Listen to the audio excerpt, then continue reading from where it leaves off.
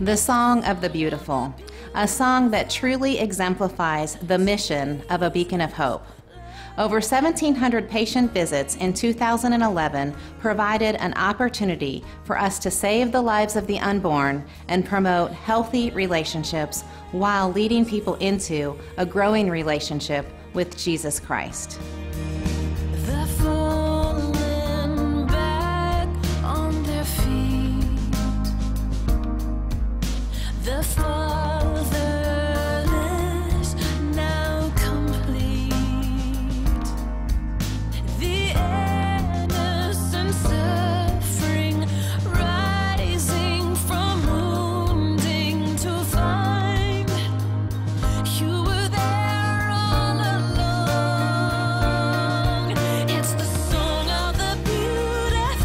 When you think of bridges, you visualize a narrow but strongly supported pathway over some kind of impasse that helps connect people from one side to another.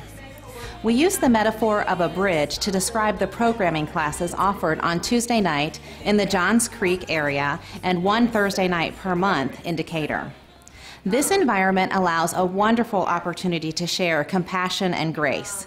It shows our patients that we are here to support them long term until the baby turns two years old. One of our primary goals is to help our patients understand that God is the ultimate navigator through life's impasses, and how a personal relationship with Jesus Christ provides a sense of security that the world cannot offer. Our bridge programs include Bible studies, infant care classes, parenting classes, and basic life skills classes. In the past year, we have presented topics on navigating your life toward Christ through a study of Jonah, recognizing the way our culture twists God's truth, communication skills, how to create a home of honor for your children, prenatal, infant, and toddler care, child nutrition, and infant CPR and safety. Has it made a difference?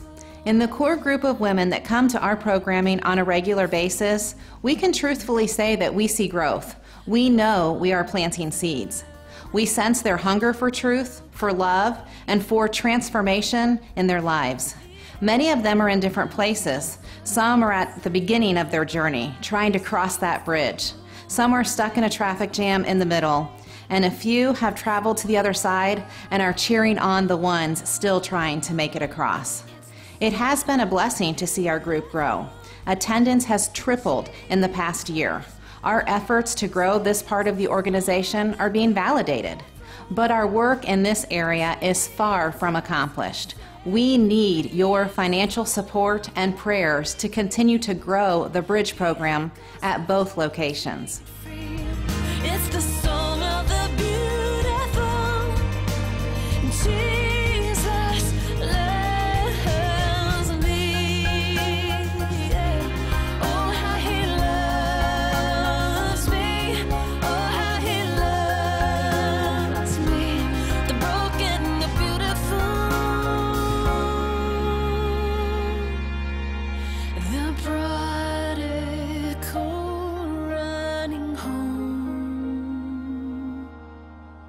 2011 was an exciting year for the Pregnancy Center of Decatur. We moved right across the street from our original 800 square foot space to a beautiful 1,400 square foot space on East Ponce de Leon, still within walking distance of the MARTA train station. In addition, we welcomed Jill Fawcett as our new part time community relations coordinator. We've also experienced an increase in our volunteer base with new volunteers in the reception area, patient care, and at our monthly parenting classes. Each year since we opened in 2006, we have experienced an increase in the number of patients that we have been able to care for. One of the biggest increases was in our number of ultrasounds that we were able to provide. We now have a nurse on staff and are able to offer free limited obstetrical ultrasounds. During 2011, we experienced a 25% increase in the number of ultrasounds that we were able to provide. You know, hearing all that's happened this year in Decatur, it's hard to believe that the center is only open 15 hours a week. Our prayer going forward is that God might provide the financial support, the volunteer support, and the prayer support so that we could increase our hours and be able to care for more women and men who are facing unplanned pregnancies. There's mostly a lot of pressure. Pressure to date, pressure to do drugs and alcohol, um, and mostly pressure to have sex. I would say that if you're looking from an outside perspective and you see someone that's in a relationship, if they've been together for more than like six to eight months, normally it's just automatically assumed that they're probably sexually active. Even though that assumption's not always right, it's just usually what is assumed because the media show, tells us that that's how a relationship is supposed to be. When the SWAT team came in, it was really like a reality check um, because it shocks me when I hear that 62% of 18 year olds have already had sex, and 20% of those are pregnant.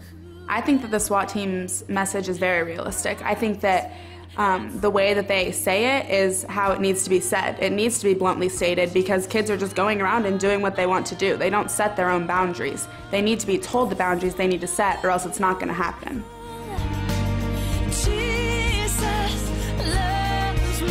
I grew up in Alpharetta in a loving Christian home. We went to church every Sunday, and I attended a private Christian school through middle school. I accepted Christ in Sunday school when I was little, and I continued to learn about Jesus and his plan for my life as I grew up. As high school approached, I decided I wanted to go to a new school. My parents discouraged me from changing schools, but I was in a stage of life feeling like I was missing out. I wanted to experience what the real world was all about. Once I got into the new school setting, I quickly strayed from my personal relationship with Jesus Christ. I stopped going to church and church related events and began doing anything I could that promised fun, freedom, and excitement. I went to parties and did the drinking and drugs thing, and of course, this lifestyle led to premarital sex.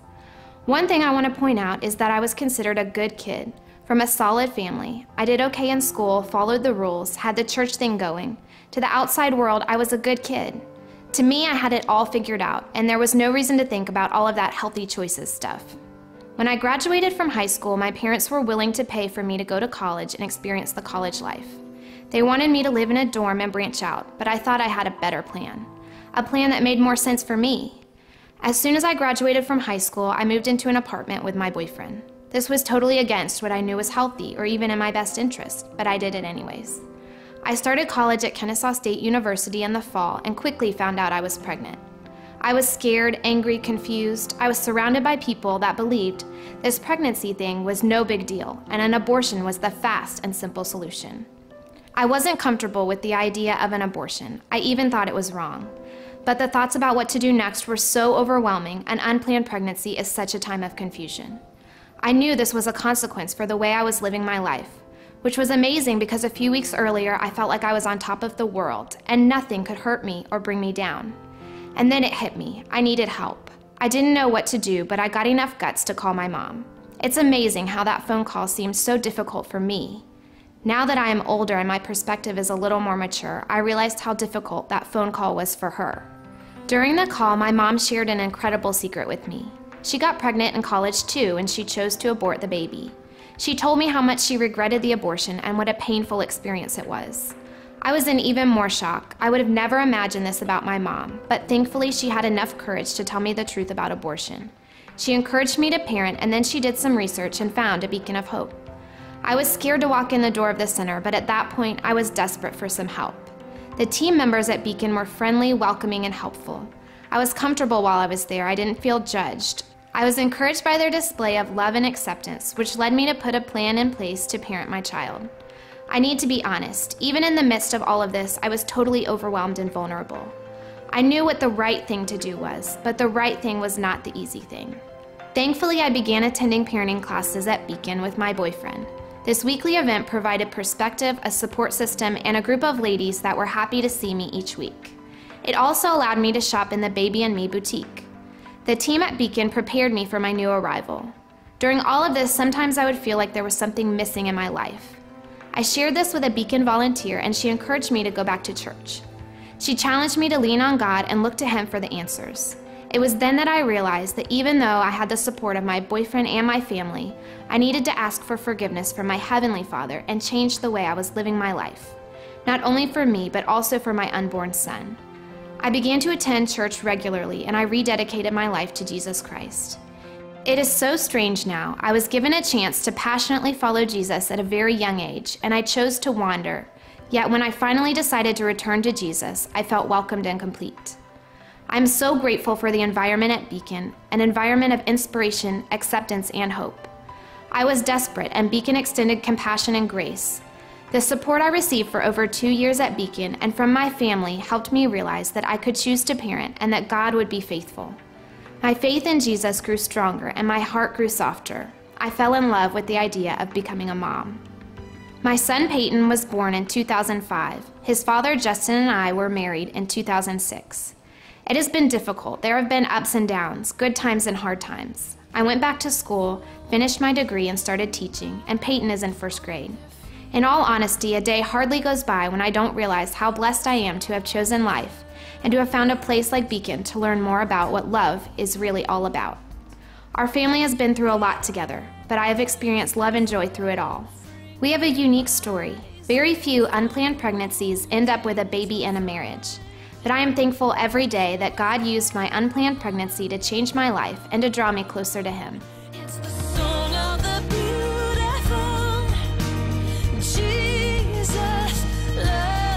Jesus loves me. It's a simple concept, a concept most people hear their entire lives, but often don't grasp the reality of it. Jesus doesn't love you if, Jesus doesn't love you when, Jesus doesn't love you because. Jesus loves you, period. When a patient is in crisis, they need to feel loved. They need to know they have options. They need a safe place that will walk them through the next step with no strings attached. In 2011, through the services offered at both locations, we were given the opportunity to extend this type of love to over 500 new patients that had positive pregnancy verifications and over 280 individuals through ultrasound. Through initial intake, we know that at least 110 of these cases were 100% abortion minded, and 363 of these cases were abortion vulnerable. These types of numbers confirm the need for our services within this community. Please partner with us as we continue to develop our post abortion recovery program and grow the SWAT team under the Prevention Initiative. We need to consider increasing our hours in Decatur so that more individuals can be served. And we also need to hire a new position in Decatur to oversee programming. And we're consistently trying to evaluate whether or not we should open an additional location in the Norcross or the Sandy Springs area. Your prayer and financial support is the foundation for everything we do at a Beacon of Hope. It is not possible for us to fulfill the mission God has placed before us without your generosity.